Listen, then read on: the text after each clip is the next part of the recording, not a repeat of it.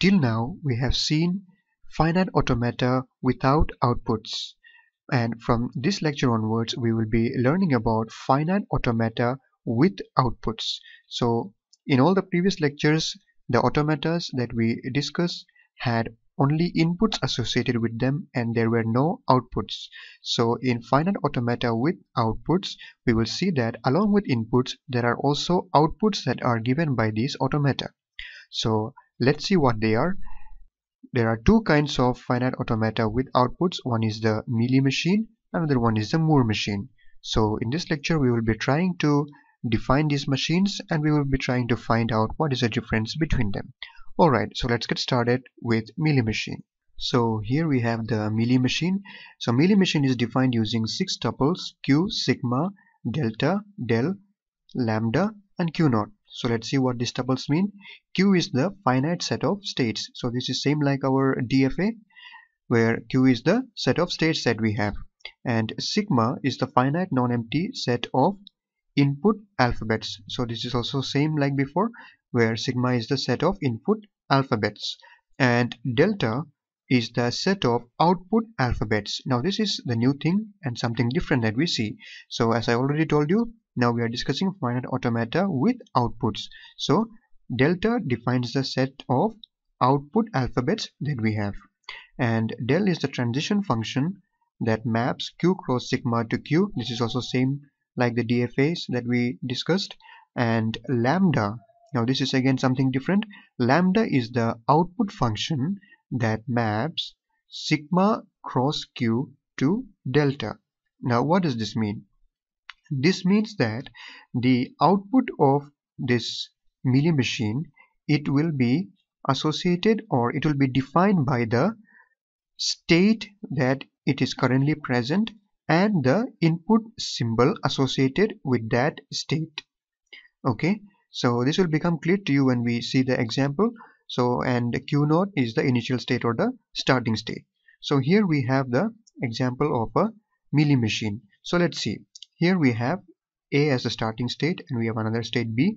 And A on getting input 1 it goes to A itself and it produces the output B okay? And A on getting input 0 it goes to B and produces this output small a. And B on getting input 1 it stays in B itself and it produces output small a. And B on getting input 0 it goes to A and produces the output small b. So we see that there are outputs associated with each input and the kind of state they are present in. So here we said that the output function is defined by this. So the output is defined by the input and the current state it is associated to. So let us look at this example and see this output small b. How is this small b defined or how do we get this small b? We get this small b when we are in state A and get the input 1. So this b is defined by the state A and the input 1 that it receives. Okay, so let us take another example over here. Let's see b and let us see this output A that we get here. How do we get this output A? We get this output small a when we are in state B and we get the input 1. So we see that the output is always associated to the current input that is present in the current state. Okay, so that is how the output function of a Mealy machine is defined. Now let us go to the next one that is Moore machine. So here we have our Moore machine and in Moore machine, it is also defined using six tuples q, sigma, delta, del, lambda, and q naught. So let's see what these tuples mean. Q is the set of states, same like before. Sigma is the finite non-empty set of input alphabets so that's also same. And delta is also same like this one the set of output alphabets. And del is the transition function that maps q cross sigma to q again that is same. And lambda is the output function that is defined by q to delta. And q naught is the initial state or the starting state so we see that the difference between Mealy machine and Moore machine are these output functions lambda so if you look here here lambda was sigma cross q to delta but here lambda is q to delta So what does this mean? This means that in case of a Moore machine, the output is only associated or only dependent upon the current state. Okay, this will become clear when we take this example. So look at this example. Here we have a Moore machine and here we have states A, which is A where A is the starting state and B is another state. And here we see that A is associated with the output small a and B is associated with the output small b. So A on getting input 1 it goes to A itself and it produces output small a and on getting input 0 it goes to B and this B produces output small b and B on getting input 0 stays in itself producing output small b and B on getting input 1 goes to state A producing output small a. So here we see that these outputs are dependent only on the states. Okay? It is defined by the states. But in this case in case of Mealy machine we see that the outputs were related or defined by the state as well as the input that we get in that state. But here it is only dependent on the states. So this will become more clear when we take example an example. So let us take a simple example.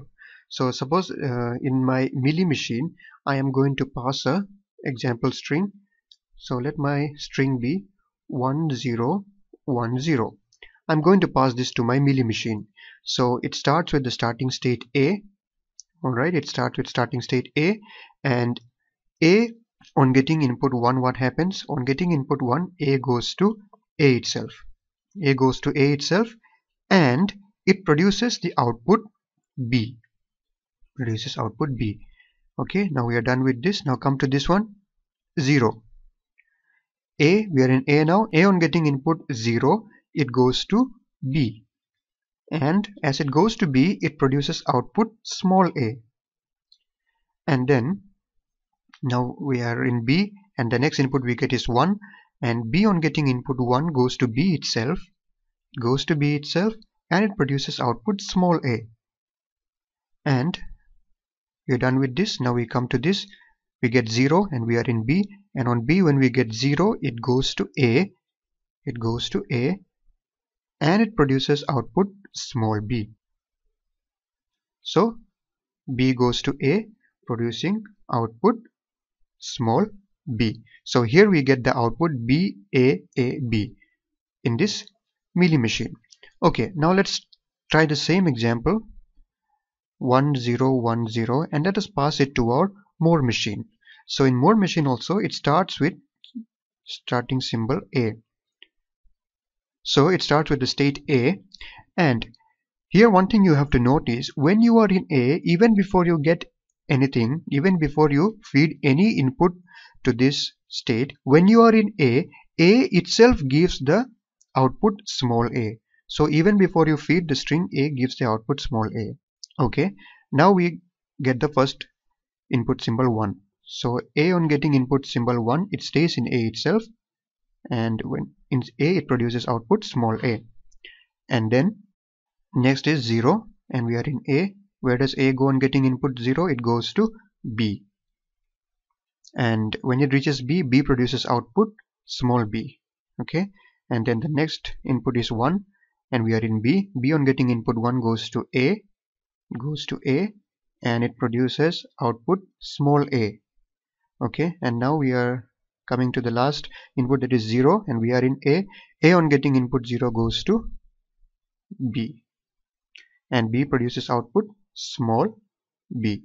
So we get the output A A B A B so this is how the Mealy machine and Moore machine behave on getting certain input strings. Now if you notice here you see that in case of Mealy machine when we gave an input string of length 1 2 3 4 it produced an output string of length 1 2 3 4. So that means if the length of your input symbol is n then the length of your output symbol is also n. But in case of Moore machine the length of our input symbol was 1, 2, 3, 4 and the length of the output string that is produced was 1, 2, 3, 4, 5. So in this case we see that the length if the length of your input string is n then the length of output string is always n plus 1 okay? That when why is that? That is because in the starting state there is always an output associated with it and that is always printed. That is why we have the length of our output string as n plus 1 where n is the number of strings in the input.